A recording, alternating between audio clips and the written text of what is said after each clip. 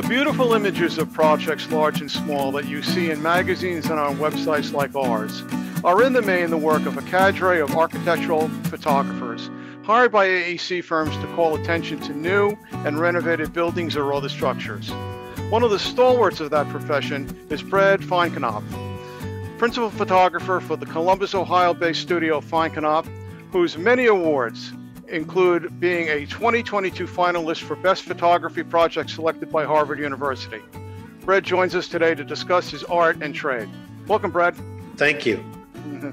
Brad, let's start off by talking a little bit about um, uh, what the purpose of architectural photography is for clients. So, you know, what do clients need to determine before they decide to have their photo of their projects uh, shot? I think the the main purpose is uh, for the purpose of going after other work. That if you're going to be hired or if somebody's looking to hire someone who's done a hospital, they want to see some of the hospitals you've done previously. So I think largely it's to show the work that you've done to express the quality of your work. Uh, that's probably the initial reason. The secondary reasons tend to be uh, pursuit of design awards or publication. Um, but I think it all is within the realm of, of marketing to be able to tell uh, a bit more or have somebody see images of the projects you've done here, there, and everywhere uh, when you're not going to be able to put a client into a plane and fly them all over the place to see those projects in person. This episode of Horizon TV is sponsored by the Bilco Company, the industry leader in the design and manufacture of specialty access products. Bilco's automatic smoke vents protect property and aid firefighters in bringing a fire under control by removing smoke, heat, and gases from a burning building. Smoke vents increase the evacuation time and decrease the risk of smoke inhalation and damage while enhancing visibility to allow firefighters to quickly locate the fire. Smoke vents are ideally suited for large expanses of unobstructed space, such as factories, warehouses, auditoriums, and retail facilities. The product is fully insulated and gasketed for weather tightness and is constructed with corrosion resistant materials to provide many years of trouble free, dependable service. All Bilco automatic smoke vents feature the Thermolatch positive hold release mechanism to ensure reliable vent operation when a fire occurs. Smoke vents are available with polycarbonate covers for natural daylighting and with acoustical sound ratings to block exterior noise from entering a building. Products are available in a number of UL listed standard sizes. BIM models, CAD details, and three part specifications can be found on their website to help with your next design project. Bilco's highly trained local sales representatives are always available to provide technical support. Um, when you get hired, do the clients generally have a good idea of what they want to have shot and their perspectives? Talk, let's talk a little bit about how a photo shoot is planned. Um, I, I, think it, it sort of evolves, and I I would say that when it comes to planning a photo shoot, it is important for the client to have a good idea of what they want but maybe not down to the minutia. Mm-hmm. Um, it, it is how I look at it is an architectural photographer wants to be treated with the same kind of respect that an architect wants to be treated with. Mm-hmm. If I come to an architect and I say, I want you to design this building for me, I, am certainly going to have a list of things that I want that building to comprise. But I'm also looking at them as a creative entity, and I want them to bring their vision to that architectural project. I don't think architectural photographers are any different. And uh, there's a lot of times, and I, I hate to say this, this is very well meaning on behalf of the architects. They'll send you a bunch of plans that have a little little arrows in the corner, like take a shot from here and take a shot from there and take a shot from there. And I will say more often than not, I I don't want to say I totally disregard those, but until I'm in that space, see what the conditions are in the space, and am able to kind of uh, determine what is going to make compositionally the best image. Uh, you know, those little arrows or whatever don't mean a whole lot to me. Mm-hmm. So I think an architect needs to come to a project knowing that hey, we need to capture these spaces. Um, with certain design awards, they want to make sure that you have shots of north, south, east, and west of the building. And so you don't want to be going after a, a design award and realize, oh, we never shot the north side of the building. Mm-hmm. So I do think knowing what you need um, and what you need to take away is important from the client but specifically how to approach each and every photograph um, i think is less consequential. You need to have a little bit of trust in the person who's doing the work for you. Mm-hmm. uh, generally speaking how long does it take you to be on site before you have a good handle on what you what you want to shoot? Well I, I will say that I, I know i have lots and lots of contemporaries who are architectural photographers and we communicate and different photographers work differently. Um, certain photographers like to scout their projects um, maybe a couple days in advance spend a day there really hone out what their vision is. Um, i would say the way I, in which i work is much more reactionary. Mm-hmm. That most of my work is really not in the state of Ohio, it's all over the country. So, more often than not, whether I'm driving or flying, I'm going to that project and I will typically get to that project sometime in the morning. I'll take an hour, maybe an hour and a half to walk the project and uh, see the various spaces that I'm going to be photographing. And then I would say after that hour and a half, I have a pretty good idea in my mind's eye of what I want to execute over the next day and a half, two days, three days. Mm-hmm. And then the next couple days are a lot of, you know, uh, taking what I have in my mind and executing it on, in a, into a digital file. Mm-hmm. Um, so it, it, it is a process. Um, and a lot of times I can sit down and just kind of say, okay, on Tuesday at two o'clock, we want to be here. Um, I will say we probably take anywhere from a half an hour to an hour per shot. Um, we tend to be very meticulous, and there's a lot of um, maybe moving around or removing gar- garbage cans where necessary. uh, but a lot of little tweaking that we do to take the image from being just an average image to a, a good or maybe even a great image. Um, so, I mean, in a day of time, I may be shooting 12. If we're shooting exteriors, which you can sometimes move a little more quickly, 15 shots in a day, but about somewhere in the 12 to 15 shot range is about how quickly we work.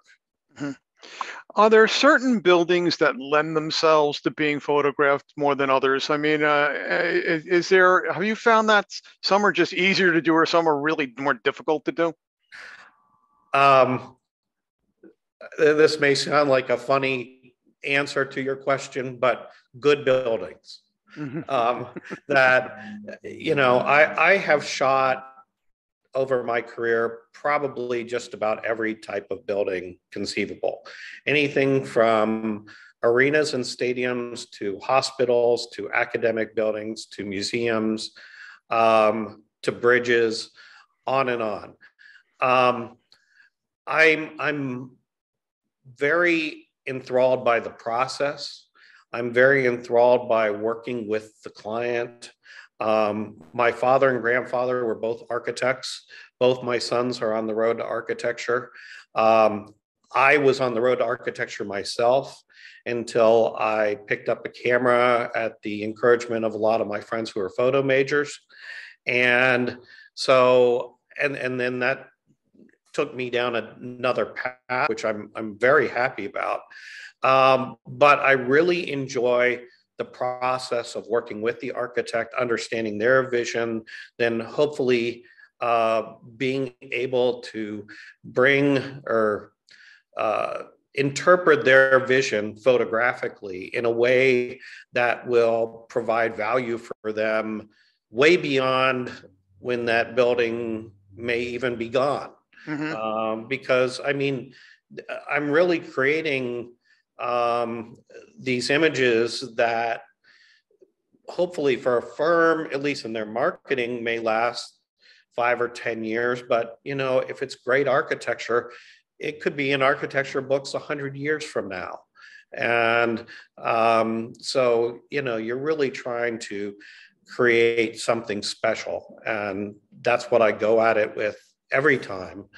Um, I mean, I, I will say museums are always fun, and academic buildings with students thriving in them are, are typically a little bit more enjoyable than the hospital. Uh, but I've also been in some really progressive hospitals that I walk in there and I see people doing things in a way architecturally that haven't been done before because I think we're growing and we're learning about different ways to i mean certainly we've learned a lot about different ways to approach the work environment now. Right. And the and and also the home environment. And and i don't i think that's true of the healthcare environment. So i'm i'm much more interested in how we are evolving architecturally than maybe what that specific building type is. Mm-hmm. um, how has technology changed your approach to shooting buildings, if at all? Um, I mean, it, it's changed a great deal. I mean, it, it's um, for 17 years, I shot four by five film. Mm-hmm. And I still will allude to film a lot like the audiophiles refer to listening to vinyl, that I think film has a certain warmth and beauty to it that I miss. Um, that said, film had a lot of challenges to it that were much uh, better equipped to overcome with digital. Um, I mean, I spent a lot of time uh, on ladders up putting magenta gels into fluorescent lights uh, because they would read green on film. Yeah. Um, we can adapt for that. I, I really feel in the digital age, I'm much better able to capture what I have in my mind's eye than I may have been able to um, in the film days. Um, in the film days, you would have to do an awful lot of lighting to boost the interior bright enough to be able to compensate for the windows and therefore it often gave the interior a different look than what was intended by the lighting designer. Um, and digital, we can do a bracket and we can combine them and post, and we can create something much closer to the what the eye sees. And I think that's a wonderful advancement. Um, but it does come with, you know, we're carrying where we're not carrying around as many lights we're now carrying around computers and other things to, and uh, the tech side of it is is much much greater than it was. Mm-hmm. Um, do you do much with drones? Definitely. Um, I I give it to my associate Lauren Davis. She was a big one to say, "Hey, we got to get into drones," and we were um, certainly more at the front end and drones have really, really improved over the last few years. And I will say, I find the drone work um, really important. Um, I used to go up about three or four times a year in a helicopter, and helicopters aren't to go below 500 feet, and drones aren't to go above 400 feet. Right. And I would say, uh, with a drone, for architecture, typically like 100 or 200 feet is almost an ideal vantage point for a lot of architecture. And the fact that and you could never get to 100 or 200 feet with a cherry picker, mm, yeah. and you never get that low with a helicopter.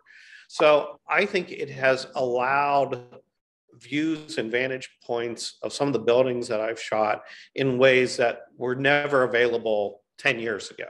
Mm-hmm. Um, so I think drones have been incredibly valuable. Mm-hmm. Brad, I've been getting a lot of uh, uh, emails from people that have, say they have availability of video for their projects. Uh, sometimes even to tell a little story about the project, not just shooting the building itself. Mm-hmm. Um, does your firm get into video in a big way, and how does it change your approach to a photo shoot when you're doing video as opposed to static shotting? We do some video. Um, we don't do extensive video. Some of it's drone video, mm-hmm. uh, where you'll be far away and you'll you'll come up on the building, or you'll circle the building to show it from all different vantage points. Um, and there's some kind of uh, there's a lot of times we'll set up a camera to shoot a static shot, and then we will shoot 30 seconds of video from that location with that composition. Um, I do think that there's been some beauty in what has happened with architecture and architectural photography. If you go back 25 years, you saw lots of magazines that had empty buildings, and the architect just wanted to show their design. But I think we've come to the reality that we build buildings for people. And so to show buildings without people utilizing them seems rather cold. And so I think in the last, you know, 15 years, architectural photography has had people in it. And I think the next step is sort of showing video and people moving through it. Uh, I will be the first one to say that I got into photography to be a photographer. I didn't get into photography to be a videographer. Mm-hmm. And I think that there's lots of people who got into video because they wanted to be a videographer and there's lots of production houses out there doing video. So i i will say that i do video as a complement to my architectural photography but i would not in any way shape or form try and sell myself as a videographer. That is not my you know i've worked very hard to be the best architectural photographer i can be I'm also working hard to be a better videographer than I am, but I would not say that, you know, that that is my forte. Okay. What continue to be the biggest challenges for your practice, as, you know, both professionally, artistically, and so forth? Um, I think a lot, the biggest challenge I think today is actually educating the client so that they can understand what is really good architectural photography as opposed to okay architectural photography. Um, everybody now has a phone in their pocket, and those phones are getting better and better, and they take reasonable photographs. Um, and I think that there's also things like HDR, which is high dynamic range, which a lot of photographers utilize to meld a series of exposures into a final image, but many do it not very well. And you know, to that uh, point, just to interrupt you for a second, when I first came into the business, uh, it's covered for for the magazine that I work for right now. I, I thought that the a lot of the photography looked like renderings you mm-hmm. know uh, you know uh, and i was i was saying and i had to ask sometimes whether or not this was a real shot or not I think to, to, to the point that you're making, sometimes the, the it's it's it's curated to an nth degree, if you would.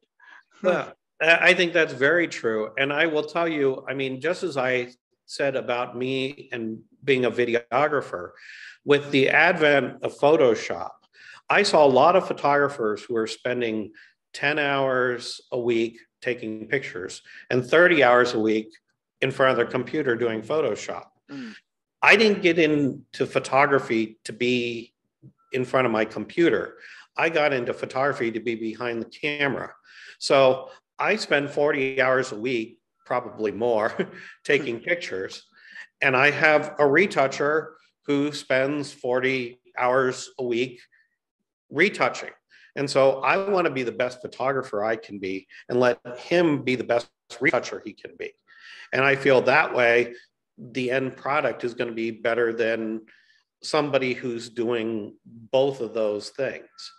Mm-hmm. Um, and and but I, I really do think that a lot of clients are just naive to what is good and what is really good and what is it what is what are going to be the images that are going to win them awards if that is what their end goal is and um, i think when you can really put a lot of architectural photography side by side then it becomes a lot more discernible um, I'd be remiss if I didn't give you the opportunity to talk about some of your favorite assignments. Can you, know, check, check off a couple of them? Um, you know, it, it's um, as far as favorite assignments, I've been really blessed that I've had the opportunity to shoot a lot of great buildings. And I would say more than just the assignment itself, for me, it's as much about the relationship. There are a lot of clients who I've worked with for 10, 15, 20 years and when I go to the location of a project that they've worked on for two, three, four years, and I connect with them, it's like connecting with old friends. And um, and I feel that my work is in many case cases um, doing work for a friend hmm. uh, than doing work for a client. I've always described what we do um, as, as, a collaboration, that it, it is people working together towards a common goal. So I really think it's about all the people who come together to make it happen. It's not my name may be on it, but it's not all about me. Um, so I, I will say that I have some really great clients that when we come together, we work on a project, and get some magical results, that's that's great. Um, and it makes it all the more special. The Harvard project, uh, which was done for Behnisch, um, the head of their uh, North American office is Matt Noblet. Matt and I have worked together for about 20 years. He's my friend.